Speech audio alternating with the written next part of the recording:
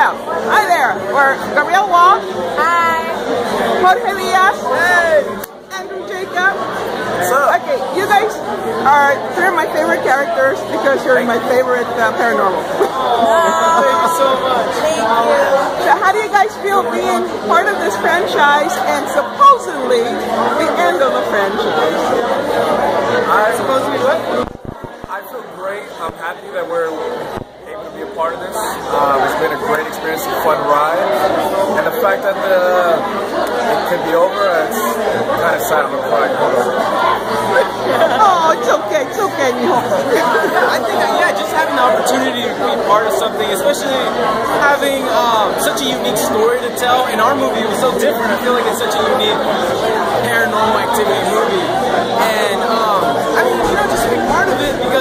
It's gonna go down in history. That like any every film does, really.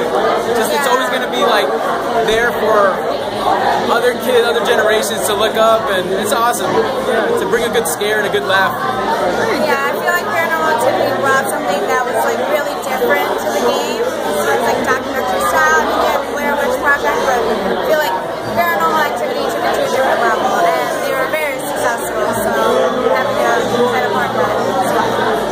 our paranormal activity. We are. Congratulations, guys.